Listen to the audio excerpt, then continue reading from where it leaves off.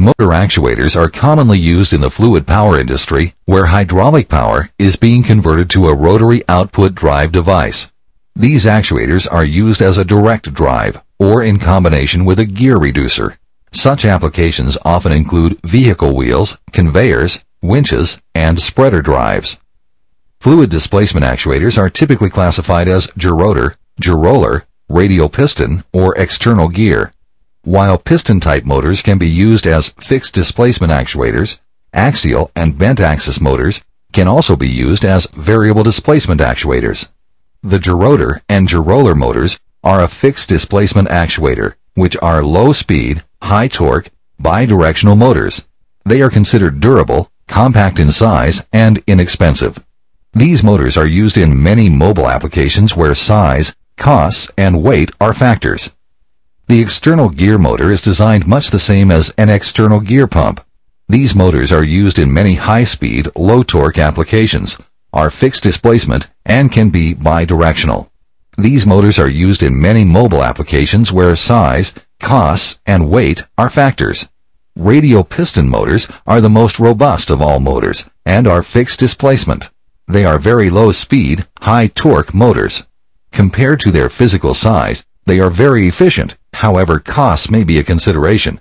These motors are used in many high-load wheel, conveyor, and low direct mount applications.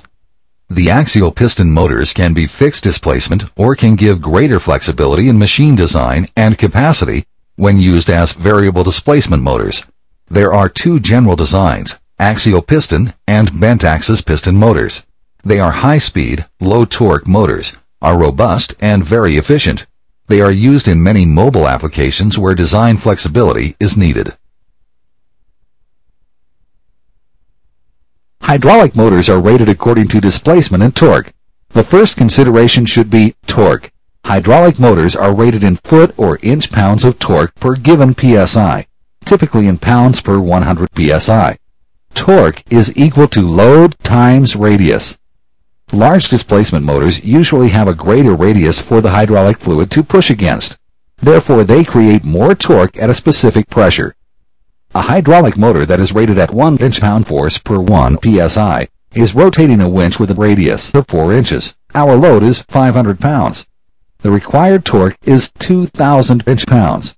Based on the torque rating of our motor, our operating pressure would be 2,000 psi. The second consideration would be displacement. This is necessary to determine the amount of flow required to rotate the hydraulic motor at the required RPM.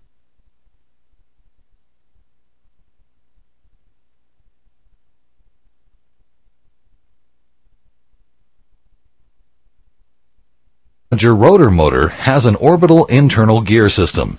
The main components of the gerotor motor include the stator that is an internal gear the rotor, which is an external gear, the drive coupling, an output shaft, a rotary valve that is often incorporated into the output shaft, and the housing with the ports.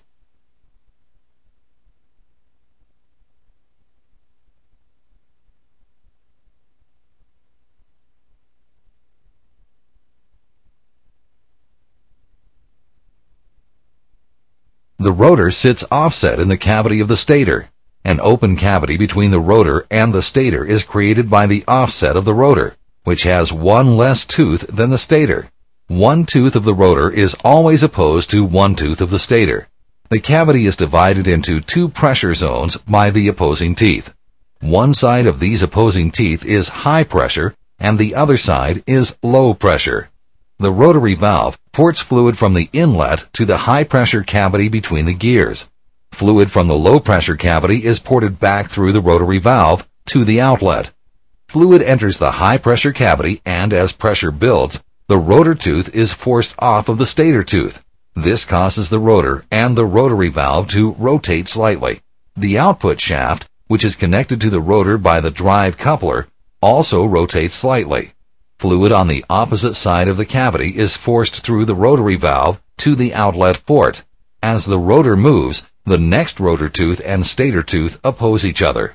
The rotary valve allows fluid to enter the high pressure cavity in its new position and the cycle begins again. These cycles cause the rotor to orbit around the inside of the stator. For each orbit the rotor makes, the rotor rotates one tooth in relation to the stator. Since this stator has seven teeth, it takes seven orbits of the rotor to complete one rotation of the output shaft. This creates a 7 to 1 speed reduction and a similar multiplication of the torque output. Torque output from the motor is a result of pressure against the side of the rotor in the cavity between the rotor and the stator. The diameter and width of the rotor dictate the area available for the pressure to work against to create torque.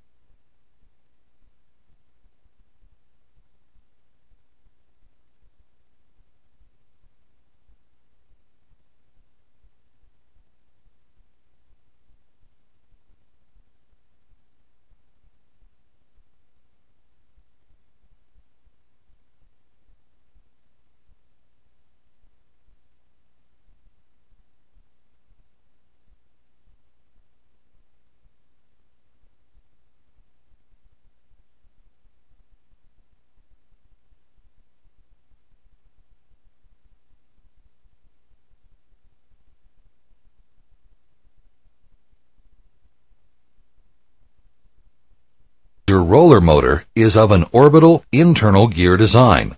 The main components of the geroller motor include the stator that is an internal gear with roller teeth, the rotor which is an external gear, the drive coupling, an output shaft, a rotary valve that is often incorporated into the output shaft, and the housing with the ports.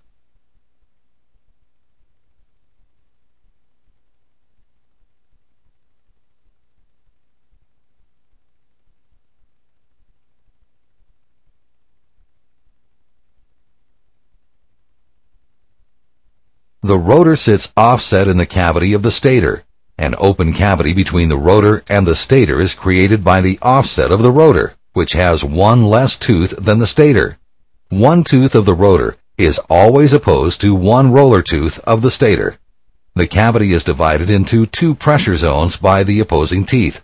One side of the opposing teeth is high pressure, and the other side is low pressure.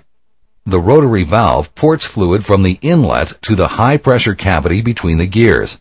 Fluid from the low pressure cavity is ported back through the rotary valve to the outlet. Fluid enters the high pressure cavity and pressure builds. The rotor tooth is forced off the roller tooth. This causes the rotor and the rotary valve to rotate slightly. The output shaft, which is connected to the rotor by the drive coupler, also rotates slightly. Fluid on the opposite side of the cavity is forced through the rotary valve to the outlet port. As the rotor moves, the next rotor tooth and roller tooth oppose each other. The rotary valve allows fluid to enter the high pressure cavity in its new position and the cycle begins again. These cycles cause the rotor to orbit around the inside of the stator. For each orbit the rotor makes, the rotor rotates one tooth in relation to the stator. Since this stator has seven roller teeth, it takes seven orbits of the rotor to complete one rotation of the output shaft. This creates a 7 to 1 speed reduction and a similar multiplication of the torque output. Torque output from the motor is a result of pressure against part of the diameter of the rotor in the cavity between the rotor and the stator. The diameter and width of the rotor dictate the area available for the pressure to work against to create torque.